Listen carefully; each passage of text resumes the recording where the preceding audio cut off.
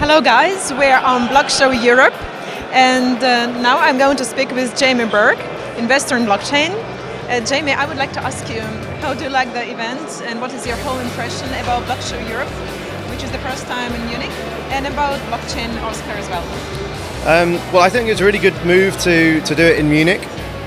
So, um, initially, when I kind of looked at you doing the city, it felt a bit strange because normally these things were done in Berlin.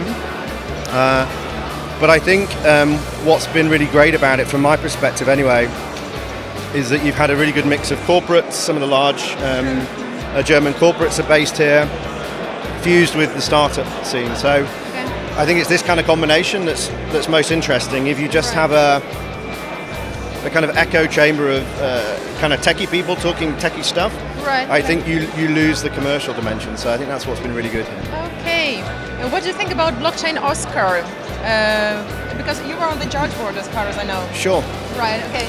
Yeah, so I think there were some really good startups. Um, and again, you had quite a good range of slightly more social enterprise orientated startups uh, with more transactional ones like uh, the, the insure tech company. So again, I think what, what's good about it is it shows a real diversity of um, the ecosystem, right. that it's no longer just kind of financial services and fintech.